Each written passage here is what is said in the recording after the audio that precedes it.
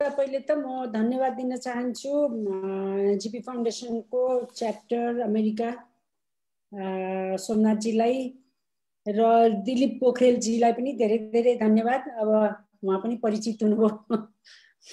धेरै समयदेखि उहाँ यहाँ यो कार्यक्रमलाई उ गरिराख्नु भएको छ लिड गरिराख्नु भएको छ।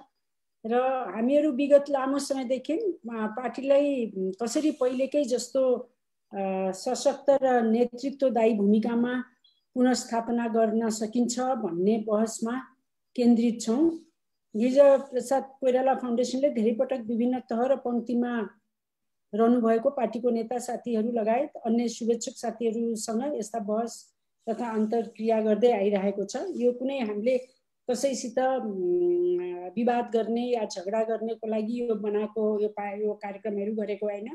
यो कार्यक्रम चाहिँ नि सबैले आफ्नो आफ्नो विचार भन्न सक्नुहोस् र हामीहरूको बिचमा एकता होस्।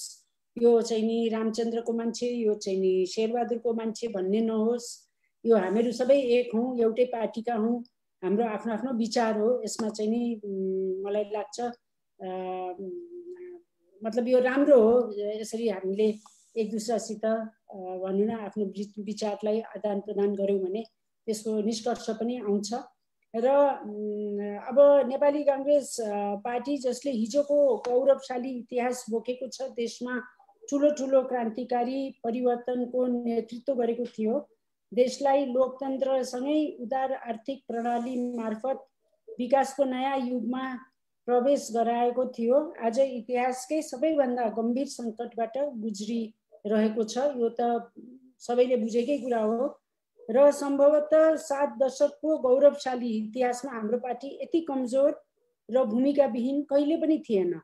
आज पार्टी नीतिविहीन दिशाविहीन र गतिविहीन जस्तो भएको छ। देशको एउटा प्रमुख लोकतान्त्रिक पार्टी यसरी शिथिल हुँदा पार्टीको आन्तरिक संरचना मात्र धाराशाही नभएर सम्पूर्ण देश नै अधिनायकवादी बाटोमा जाने र सुशासन विकास निर्माण लगायतका सबै काम नै सुस्त हुने सम्भावना हुन्छ। त्यसैले आज हामी सबैको मुख्य चासो र चिन्ता पार्टीलाई कसरी भनौँ न पुनर्जीवित गर्ने भन्ने नै हो। त्यसको लागि पार्टी नेतृत्वको रूपान्तरण र परिवर्तन पनि जरुरी हुन्छ। मतलब नेतृत्व तलैदेखि माथिसम्म हामीले रूपान्तरण गर्नुपर्छ। यसमा कसैले नराम्रो नमान्नुहोस् तर एउटै मान्छेले नेतृत्व गरिराख्दैन एउटै मान्छे बसिराख्दैन हरेक नयाँ फेस नयाँ अनुहार नयाँ समयअनुसार नयाँ परिवर्तन चाहिँ नि हुन्छ जहाँ पनि हुन्छ। नेपालमा मात्रै होइन। सबै संसारमा हुन्छ। त्यो भएन एउटै मान्छे एउटै फेस एउटै सोच एउटै विचार जहिले पनि त्यही नै भइराख्यो भने पार्टी चाहिँ नि रूपान्तरणतिर जान सक्दैन। र परिवर्तनशील पनि हुन सक्दैन र एकदम ट्रेडिसनल भएर जान्छ। मलाई के लाग्छ भने हाम्रो पार्टीको मूल नीति र सिद्धान्तलाई टेकेर ठुलो ठुलो क्रान्तिहरू सफल भएको छ धेरै परिवर्तनहरू भए देश जहानिया राणा शासन र राजतन्त्रको निरङ्कुशताबाट मुक्त भयो र देशमा नेपाली काङ्ग्रेसको नेतृत्वदायी भूमिका स्थापना भयो।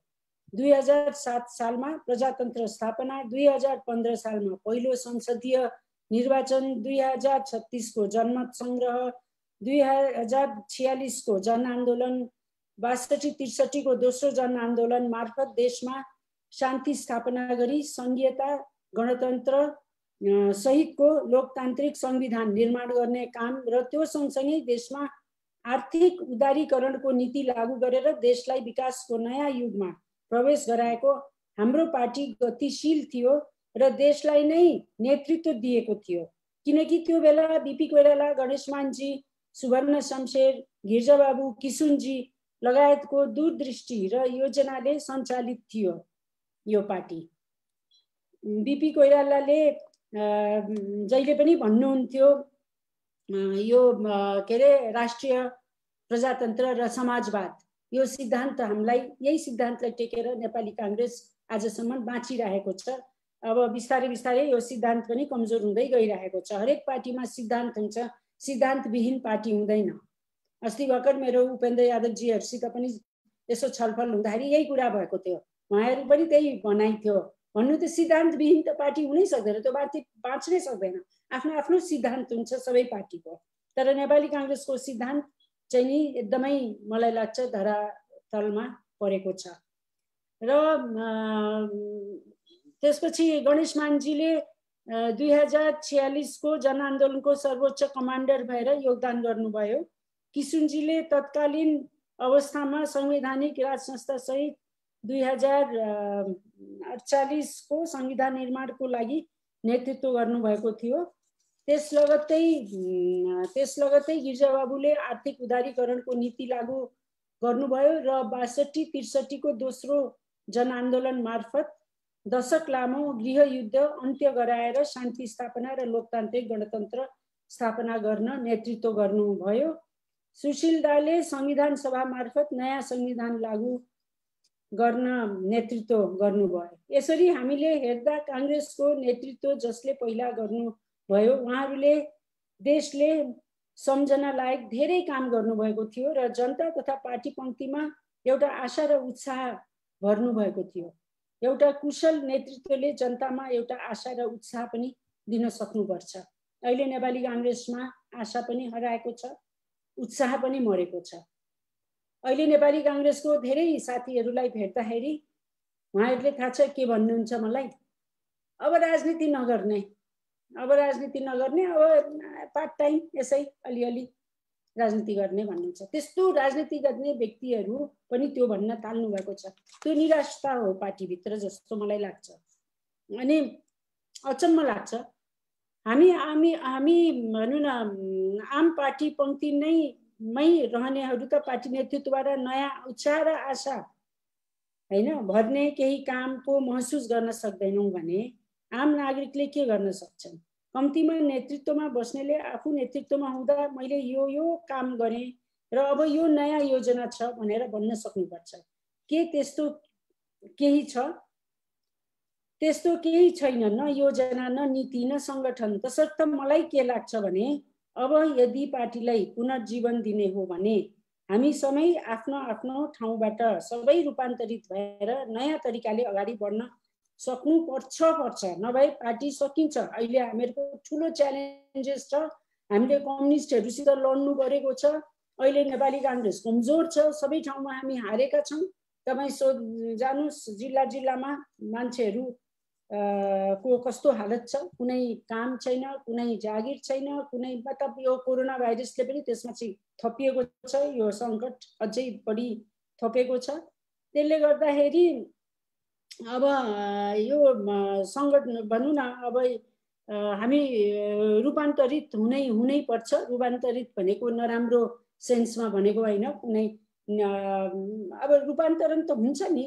जेनेरेसन अनुसार समय अनुसार जहिले पनि त सुजाता कोइराला नै भइराख्दैन नि। होइन? अर्को मान्छे आउँछ नि। या जहिले पनि तपाईँहरू नै सभापति त भइराख्नुहुन्न नि। त्यहाँ पनि त नयाँ मान्छे आउँछ नयाँ युवा आउँछ लाइफ लङ एउटै त हुँदैन नि। तिस वर्ष भइसक्यो पैँतिस वर्ष भइसक्यो जहिले पनि एउटै अनुहार एउटै कुरा सुन्दा सुन्दा मलाई नै सुन्न मन लाग्न छोड्यो। यो राजनीति साँच्ची भन्नु भनेदेखि मलाई आफैलाई पनि वाक्क लाग्न छाडिसक्यो। नयाँ कुरा कोही गर्दैन। नेपाली काङ्ग्रेस जहिले पनि अब खालि पुराना कुरा मात्रै गरेर पनि हुँदैन। हामीले हाम्रो गौरवमय इतिहास छ त्यो हामीले सम्झाइराख्नुपर्छ जस्तो अहिले मैले त्यसैले यो तपाईँहरू सबैलाई थाहा भएको नै कुरा हो। तर मैले फेरि यो किन बोलिरहेको छु भनेदेखि मैले मैले लेखेर पनि ल्याएको छु नबिर्सौँ भनेर।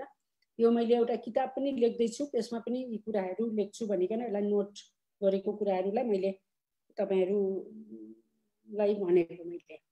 त्यसैले पार्टीमा अहिले ऊर्जा छैन। अब पार्टीलाई पुनर्जीवन दिने हो भने हामी सबै आफ्नो आफ्नो ठाउँबाट सबै रूपान्तरित भएर नयाँ तरिकाले अगाडि बढ्न सक्नुपर्छ। नत्र भने नेपाली काङ्ग्रेस पार्टी फेरि प्रजा परिषद जस्तो हुनेछ। यस्ता कमजोरीहरूबाट कम्तीमा नेतृत्वले आत्मलोचना गरी पार्टीलाई फेरि हाम्रो पुरानै लयमा फर्काउ फर्काउन ल लाग्छु। हामी सबैको जिम्मेवारी हो भनेर उपस्थित सम्पूर्ण जिल्ला सभापतिज्यूहरू लगायत पार्टीको विभिन्न तह र तबकामा बसेर नेतृत्व गरिरहनुभएका सबै साथीहरूलाई म के अनुरोध गर्न चाहन्छु भने पार्टीको गुमेको साथ फिर्ता गर्न हामी हामी सबै एकजुट भएर लाग्नुपर्छ। यसमा यसको मान्छे उसको मान्छे भनेर हुँदैन। हामी मिल्नुपर्छ। हामी सबै मिल्नुपर्छ। हामी सबै बहस गर्नुपर्छ। हामीलाई हामी सबैले एक दुसरासित सहमति सहकारी एकता गरेर जानुपर्छ। अनि मात्रै यो पार्टीलाई बचाउन सकिन्छ। र पुरानै अवस्थामा फेरि पार्टीलाई एउटा भनौँ न नयाँ उत्साह सञ्चार हुने गरिकन हामीले यसलाई चाहिँ नि पुनर्जीवन पुनर्जीवित बनाउन सक्ने अवस्थामा पुर्याउन सक्छौँ। अगर हामी एक भयौँ भनेदेखि हामीमा यो यस शेरबहादुरको मान्छे रामचन्द्रको मान्छे नभनेर हामी एक हौँ। हामी सबैजना यो पार्टीको भविष्य चाहन्छौँ राम्रो होस् भनेर।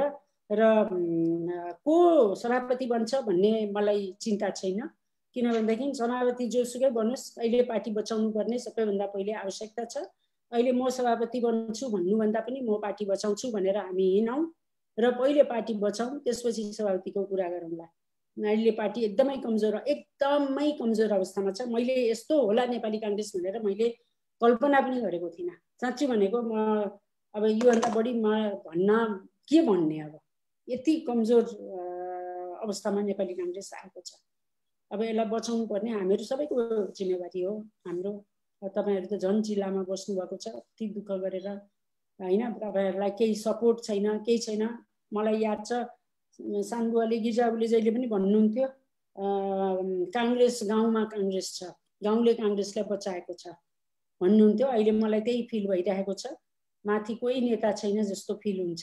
कोही पनि कोही नेता छैन कुनै लिडरसिप छैन। सब आफ्नो आफ्नो तरिकाले पार्टी बचाउनेतिर सभापतिज्यूहरू लागिराख्नु भएको छ। अन्य पार्टीको साथीहरू जिल्लामा बसेर उहाँहरूले थेगिराख्नु भएको छ। र अहिले तराईको कुरा गरौँ अब मधेसमा पनि नेपाली काङ्ग्रेस एकदम कमजोर भएको छ। मधेसले धेरै नेपाली काङ्ग्रेसलाई साथ दिँदै आएको थियो। यो कुरा हामीले बिर्सिनु हुँदैन। हामीहरूको बेस भनेको मधेस हो।